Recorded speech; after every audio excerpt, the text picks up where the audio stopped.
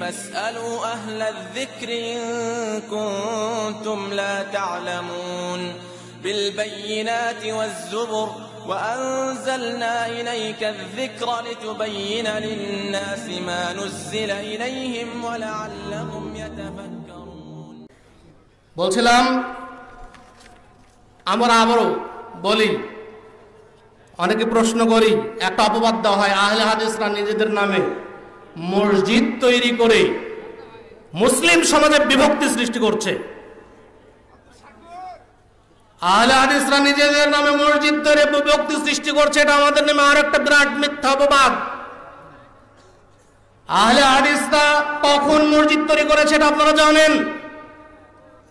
যখন প্রথমে কখনো আহলে হাদিসরা মসজিদ আলাদাভাবে বানাইতে চায় না, যখন কোন মসজিদে সুন্নাতের ওপর আমল করতে দেওয়া হয় না।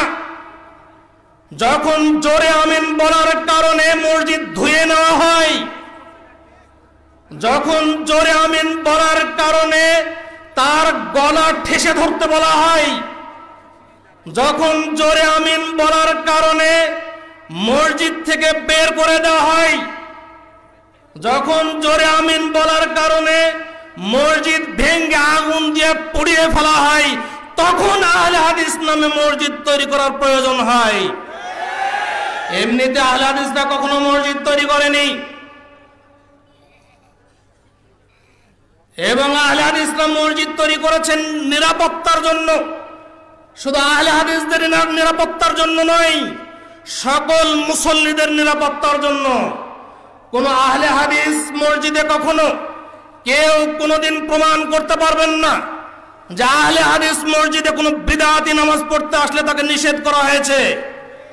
কিন্তু যে কোনো মাযহাবী মসজিদে আহলে হাদিস প্রবেশ করলে তাকে নিষেধ করা হয়, এর প্রমাণ ভুরি ভুরি রয়েছে। যেমন আপনারা দেখেছেন, মসজিদ জ্বালিয়ে পুড়িয়ে দেওয়ার মতো ঘটনা ঘটেছে। বাংলাদেশেও ঘটেছে, ইন্ডিয়ার আন্ধ্রাতে একটা মসজিদ ভেঙে গুড়িয়ে দেওয়া হয়েছে আহলে হাদিসদের মসজিদ। অতএব আহলে হাদিসদের মসজিদ, আহলে হাদিস নাম, এটা আদর্শিক নাম, এটা কোনো ব্যক্তির নাম নয়। আহলে হাদিস মসজিদ নামকরণ করে মানুষকে মাঝহাবি ভাইদেরকে নামাজ পড়তে নিষেধ করা হয় না।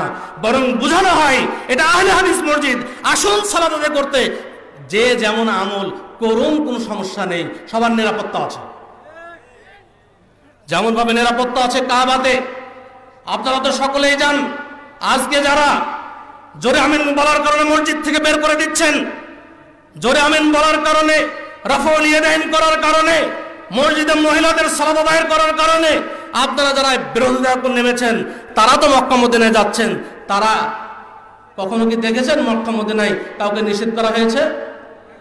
কখনো নিষেধ করা হয় নাই।